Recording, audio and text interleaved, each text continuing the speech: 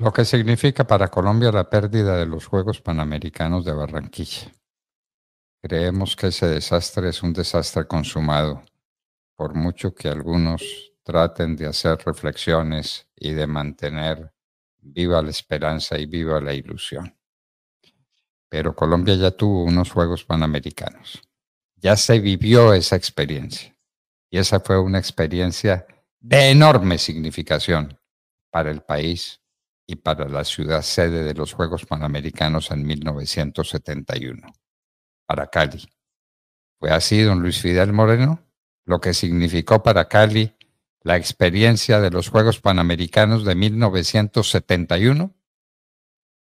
Sí, doctor Fernando, mi saludo muy especial para usted, para además a todos los oyentes, un feliz año. Sí, doctor Londoño, los Juegos Panamericanos de 1971 transformaron a la ciudad de Cali. Cali era, llamémoslo así, una aldea grande que tenía casi el 70% de sus calles eh, sin pavimento. A, Cali llegaba como ahora mucha gente venida del Pacífico y del Cauca que se asentaba por debajo del nivel freático del río Cauca, por decirlo de una manera, por ejemplo, el barrio Alfonso López, que hoy en día tiene cuatro etapas y que demandó de la municipalidad un poco de gastos eh, en materia de alcantarillado y de acueducto. Los Juegos Panamericanos de Cali se trabajaron desde 1967, los Panamericanos fueron en el 71. Y fíjense los personajes que intervinieron en esto. El doctor Carlos Gerard Restrepo, presidente de la República. Germán Sea Hernández. Daniel Arango Jaramillo, que mediante un decreto del 274 del 14 de febrero del 67 dieron vía libre a la aspiración de Cali eh, para que en Winnipeg alcanzara la sede de los sextos Juegos Panamericanos, como ocurrió efectivamente. Se conformó un comité organizador con lo mejor de los empresarios de la ciudad, con lo mejor de los dirigentes deportivos de la época, y la línea del el doctor Lleras en materia de financiación de los Juegos la siguió el gobierno del doctor Misael Pastrana Borrero con un caleño que estaba a cargo del Ministerio de Hacienda, el doctor Rodrigo Llorente Martínez. Hay que decir que Cali cambió, Cali se modernizó y le voy a decir algunas cosas que se hicieron en esa época para los juegos. Por ejemplo, el aeropuerto de Palma Seca, que hoy lleva el nombre de Alfonso Bonilla Aragón, se hizo para los Juegos Panamericanos. El Hotel Intercontinental se hizo para los Juegos Panamericanos. La Universidad del Valle de Meléndez se hizo para los Juegos Panamericanos. El plan de obras de acueducto y alcantarillado que pavimentó casi toda la ciudad y le puso a, Cali eh, llevando el alcantarillado eh, a esos barrios que patrocinaba en una época o los prohijaba Alfonso Barberena y después doña Cecilia Muñoz Ricaute. Cali, la Cali de hoy manejada por Carlos Holguín Sardi, que fue el alcalde de la época, es la misma de hace 50 años. Qué tristeza. ¿En qué sentido? Mire, el doctor Holguín y su grupo de trabajo, jóvenes javerianos, hicieron la calle Quinta, la misma de ahora. Hicieron la autopista del sur, que atraviesa Cali desde, desde Jumbo hasta la Universidad del Valle, una vía rápida, eh, con apoyo del el gobierno de Carlos Lleras y Bernardo Garcés Córdoba, ministro de Obras Públicas. La avenida Paso Ancho, la avenida Simón Bolívar. Además, hubo un, un eh, un mejoramiento total de la infraestructura deportiva. Aparte de la unidad deportiva de San Fernando, pues se hizo el Coliseo del Pueblo, se hizo el velódromo, que todavía en el velódromo que lleva el nombre de Alcides Nieto Patiño se hacen competencias de, mundiales de pista. Se hizo las nuevas piscinas, eh, se hizo eh, el, el, estadio de béisbol, que Cali no tenía estadio de béisbol. Recuerdo mucho eh, el partido estelar de esos juegos que fue entre Cuba y los Estados Unidos de América en plena Guerra Fría. Además, por cuenta de los Juegos Panamericanos, se instituyó en el gobierno de Gerard Restrepo Coldeportes. Y vea pues quién fue el primer director de Coldeportes, don Adolfo Carvajal, quien fuera muchos años presidente de la firma Carvajal S.A.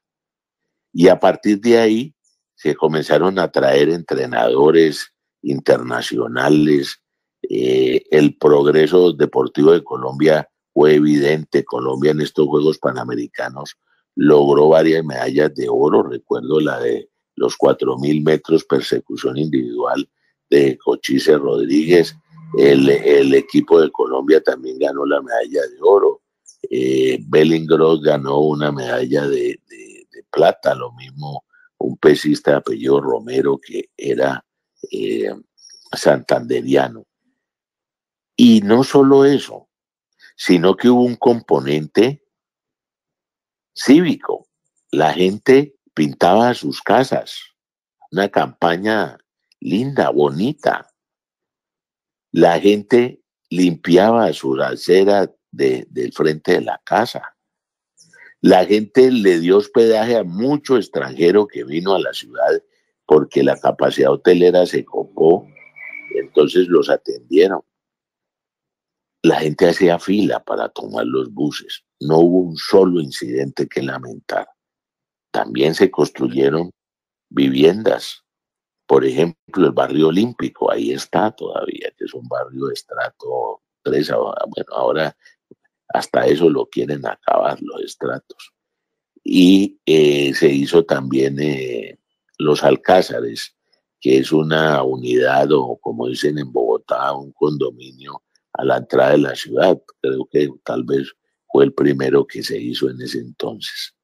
Y además hubo también un componente literario, fotográfico. Todo esto manejado, esta parte última, por Alfonso Bonilla Aragón y por doña Aura Lucía Mera, en ese entonces de Lloreda. Era esposa del doctor Rodrigo Lloreda Caicedo, que en paz descanse. Cali cambió. Y ese Cali cambiado permitió que tiempo después pudiéramos nosotros los, caleños apreciar aquí un mundial de natación. Después del mundial de natación tuvimos el mundial de baloncesto femenino del 76. Después tuvimos el mundial de baloncesto masculino. Hombres para destacar de esta época, don Joaquín Lozada Salcedo, Jorge Herrera Balona, Hernando Botero Virne, siempre al lado de Jorge Herrera, eh, Nolasco Sierra, Navia, Jaime Aparicio, nuestro corredor insigne, el primer campeón panamericano. Decir cómo anda hablando un, parlamentario de, de, esta cosa que nos gobierna que es que eso valía mucho. Sí, eso mismo dice la Urrutia. A mí, piensa mal y acertarás. A mí que no me vengan con cuentos de que la culpa es de la señora ministra y que tal y cual no.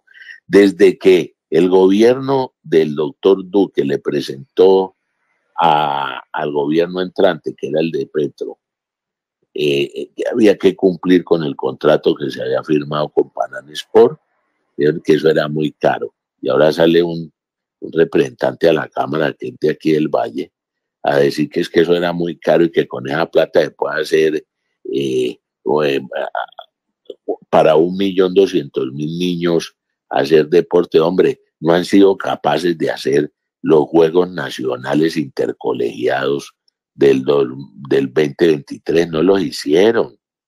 Son ineficaces, ineficientes. unos juegos no solo es el deporte, no solo es la infraestructura deportiva.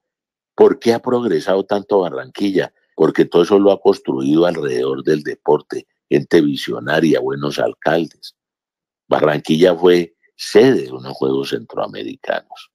Ahora iba a completar su ciclo con los Juegos Panamericanos. Esto es la peor vergüenza que ha pasado Colombia en el campo deportivo porque lo hay en otros campos gracias a, esta situación a que el pueblo colombiano nos vio abocados porque votaron por el que no se debía para imponernos un gobierno comunista que no, que bueno, pero ese no es materia de nuestra conversación hoy. Lo cierto, lo cierto es que la historia de Cali se divide en dos, antes y después de los Juegos Panamericanos del 71. Esa es la verdad. Cali se transformó, Cali se desarrolló. Cali es otra, gracias a los Juegos Panamericanos de 1971 y a la visión de Carlos Hierro Restrepo y de su ministro caleño y de la gente de la ciudad de Cali. Miren lo que se consiguió, una Cali nueva y distinta, y eso era lo que venía para Barranquilla y eso es lo que frustró la incompetencia, la inhabilidad, la incapacidad de manejo de un gobierno que no entiende cómo son las cosas. Pues don Luis Fidel Moreno, muchísimas gracias por recordarnos esta historia, porque la gente tiene que saber que aquí tuvimos Juegos Panamericanos. La mayoría de los colombianos no había, de hoy no habían nacido entonces.